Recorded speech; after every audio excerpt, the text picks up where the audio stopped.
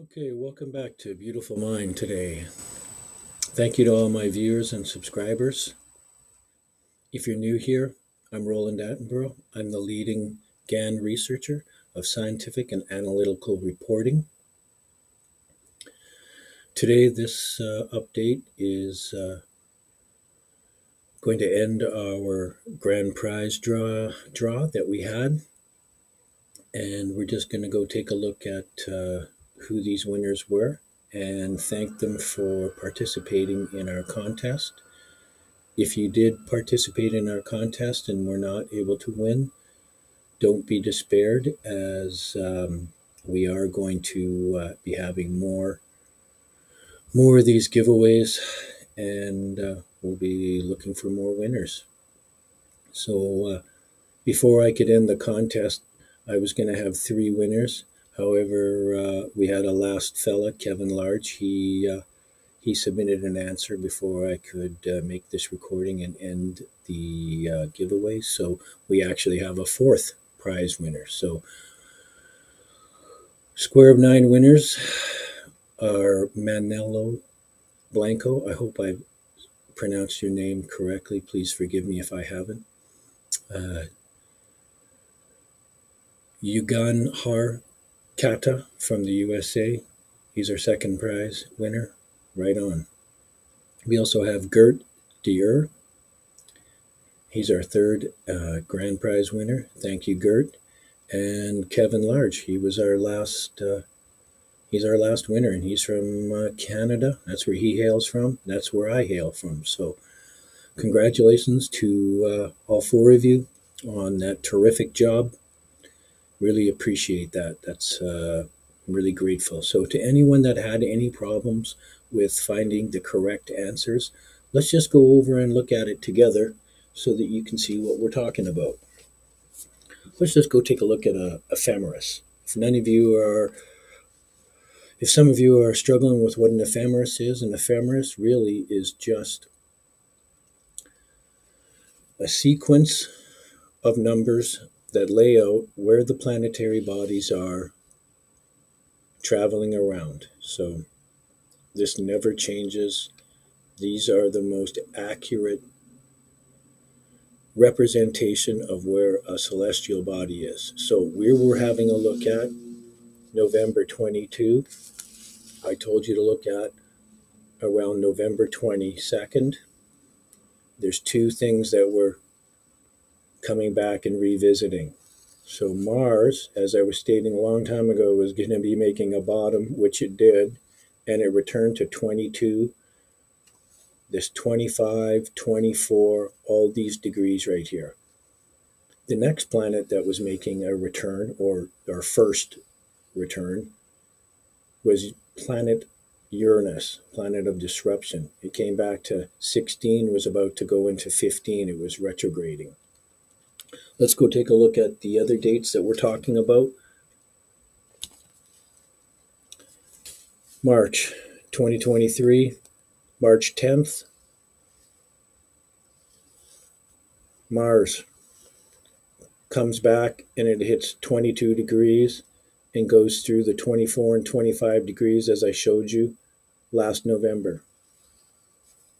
Uranus, planet of disruption, is back in Taurus staying there. It was retrograde and going direct, and it was 15 degrees, returning to the 16th degree.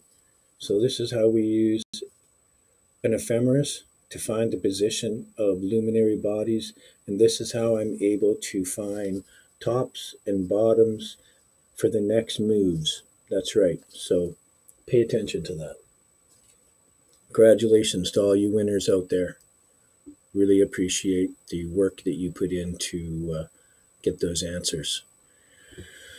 So with that, this uh, this prize giveaway has officially finished, and we have four winners. And I look forward to having more giveaways, and uh, stay uh, stay tuned for that. Also today, we're going to uh, take a little look at our square of nine here and uh, we're going to just do a little update to what we were going to be doing in July. I've been really busy with the sale of the Square of Nine. It's been absolutely terrific. It's been so phenomenal. I've been so busy with shipping and returning emails and just trying to get everything packaged and sent out. I've been so busy. Uh, my my tutorials have suffered a little bit. I was supposed to have out uh, another July outlook. Let's just do a really quick outlook right now, today, just so that we can uh, discuss what it is we were talking about. Okay, so we were gently discussing before that uh, for my forecast to work out here, that we would have to start moving back up to 34. And I was stating that by around the 12th to the 14th, I think the 12th I was stating that we needed to be up to 34,000.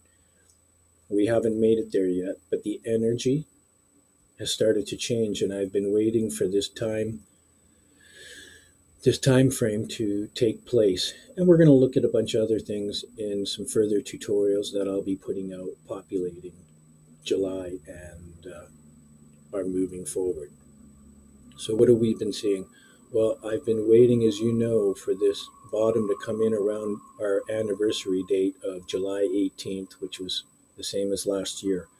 So we were within three degrees, or basically a direct hit. From there, we were expecting 25 to be our bottom, and we're expecting that we have to get above 31. And I was stating that we need to get above this 31 level and sit on it. And once we have sit on this, the sequence will continue to move up, as we stated in our forecast, to 34, then to 37, and then, of course, up to 40 where it would subside and then we would have a pullback. And I was expecting that by somewhere around the 8th, the 2nd to the 8th of August, we can see our next first top. And that probably by the 26th of August, I was observing that it's possible and likely that we return back to 29,000 or this 31 level, but most likely we will be revisiting this level. It just seems that something might be happening here. And then from there, I would expect that the next sequence from August, we would move up into uh, September here. And we would most likely be making our tops from August, September, and that in October we could again be sitting back on an old top here somewhere around this 37 and 40 before we have a top out and a pullback into our election. This is a really important year for an election. This is probably going to be the most important election ever since Abraham Lincoln, Mr. Trump, and JFK or RFK, sorry, have uh, they have an arduous task in front of them, and uh, it's a big turnaround. So this is going to be a really big election. So this is what I'm sort of looking at, looking at Mr. Gann's 1943 prognosis and all his third year prognosis for the yearly cycles. It's looking like we're going to have a pull, a pullback once we get above these numbers, we're going to have to sit on 31. It may be even into this November and December. However, it's probably going to sit on a higher a higher high, probably around this 34 and 37. Not for sure, but it's possible and likely that we would see these levels by around that area and sit on that. So we've been watching our square of 9 and from our 25 here, we've been calling that we have to sit and break above this 31 level. This this is our 90 degree square, and we have to sit on this level. This is back to square one. We're on the base. We have to sit on this. From there, as I've been stating, we will be moving up to around the 34 level here. if we were to if we were to see weakness here, it's very possible and likely we can spin back and sit down here if that were to occur. We need to see strength and we need to sit on this. We could come back and sit down on 31, which I expect, and then have another push up 90 degrees to 37. From there, I'd expect another reaction back to 34. And then our last push 90 degrees up to end the sequence at 40 here, which would be somewhere this 7th or 8th of August. In which case, we would have a subsequent pullback, as I've been stating, to around the 26th of August. Where would we be sitting there? Well, it's looking like this 31 and this 28 level here is something that we would need to hold. If we were to break below this, then our forecast would be null and void and it would be it'd be invalidated and we would be moving back down. So pay attention to that.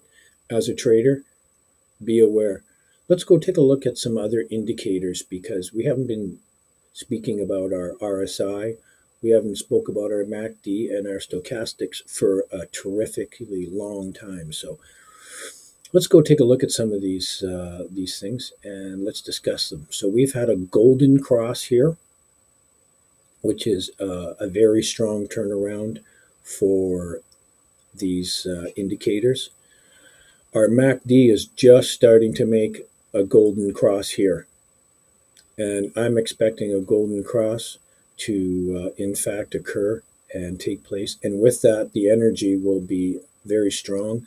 And I expect that we will shoot up to 34,000 here in the next few days. Our RSI has been moving up. It made a bottom back here and has showed some significant strength. So, with that being said, all three of our indicators are showing great strength. So, it's possible and likely that my forecast is still intact. So, let's be patient. I've been sitting on some long positions for quite a while, and uh, they're slowly coming to maturity. It's looking really nice. Just be guarded make sure you have a stop loss with all your stuff. So once we have broke above, Gann says the safest place to buy is when an asset breaks above its old tops and sits on it. When this occurs, you can expect that the next sequence will unfold and that we will in fact have another swing top. If this is not to occur, then guard yourself with a stop loss and be ready to make a short position. I hope you've really enjoyed our tutorial today. I'm going to further go back and we're going to look at uh, Bitcoin going back 12 years and then we're going to zero right in on the hourly chart and the minute chart. We're going to just zoom right in to the absolute minute so uh, we can take a look at what Bitcoin has been doing. Also, pay attention Later on, we'll have our FOMC versus Bitcoin, where we'll discuss how the Fed is in a head on uh, match with uh, Bitcoin right now for asset dominance. And lastly, we will be doing another giveaway in August, so pay attention to that. I have my sun scales coming up next, and uh, we'll just go over that. That uh, will be uh, an update number two, which will show our sun from the November period at 15,000. And I think you're going to be really pleased with that. Once I received 100 likes on my first sun scales tutorial, I think there's about a little over 30 likes. Once there's 100 likes, I'll release the rest of my scales for Mercury, Venus, Mars, Jupiter, and Saturn. So uh, you guys got to do your part. I'm doing mine. All right, peace and love to all you guys. Safe trading. Be really wary. We are, in fact, just about to uh, have a great amount of energy released and uh, a move up. And if that is not to uh, take place, then uh, be very guarded for a possible move down and a retest of our older areas around the 25 level. And if those aren't to hold, watch out below because we may go back to 13. If that's the case, that would represent a really good buy. All right, peace and love, safe trading, tear my tutorials to pieces, and uh, a big shout out and thanks to all my uh, grand prize winners. Hang in there, guys. You guys are doing a great job out there. And all those that didn't win, stay tuned. You will be a winner in the future. I look forward to uh, speaking to you again. Thank you for joining me today as we discuss Bitcoin in its totality.